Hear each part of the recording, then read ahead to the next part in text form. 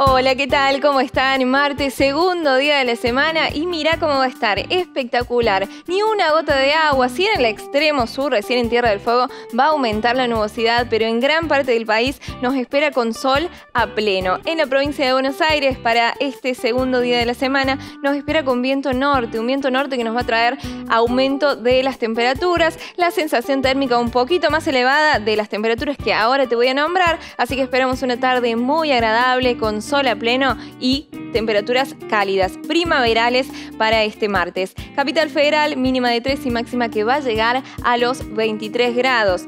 Igualmente muy agradable en Mar del Plata, Villa Gesell y alrededores, en Costa Atlántica, la máxima va a llegar a los 22 grados, a pesar de que a la mañana la arrancamos fresquita, con mínimas de 6 grados todavía, a no confiarse. En el sudoeste de Buenos Aires esperamos máximas de hasta 30 grados, espectacular, cálido.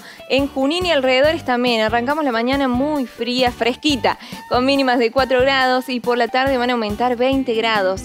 Las temperaturas 24 esperamos que marque el termómetro, así que la gran amplitud térmica va a permitir justamente esto, temperaturas mucho más agradables, mucho más primaverales y sí, no esperamos lluvias para este martes. Si querés más detalles, podés entrar a y seguirnos por nuestras redes sociales, por Facebook, por Twitter y también por Instagram. Hasta el próximo informe y muchas gracias.